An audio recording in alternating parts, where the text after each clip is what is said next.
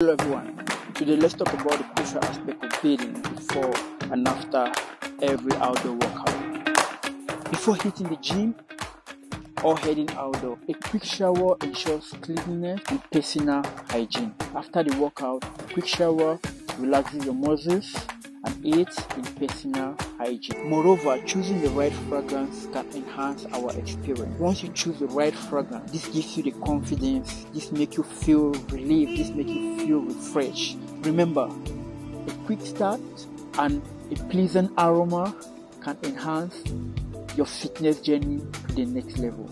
Stay fresh, stay energized, and sweating it out. If you love this video, make sure you give it a like, make sure you share, and drop your comment down below. Catch you on the next video. Don't forget. Water is very important.